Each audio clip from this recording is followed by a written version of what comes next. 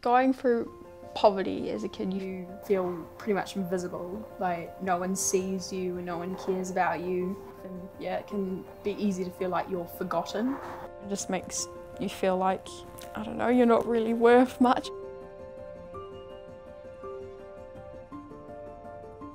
It was really good to get food at school because sometimes that would be the only meal that you'd get a day pretty much. I got my first ever pair of brand new shoes just for me. And yeah, just to feel like someone could see me and see what I was going through was really cool.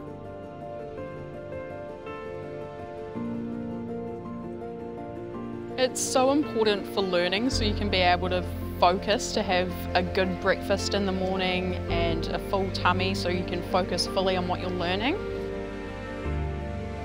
Having Verity as part of our Kids Can team, part of our Kids Can whānau is amazing. I think hearing her story just really cements our reason for being for the past 18 years and I guess shows that those small things, those small everyday things that most of us take for granted can have a huge and long lasting impact in a child's life.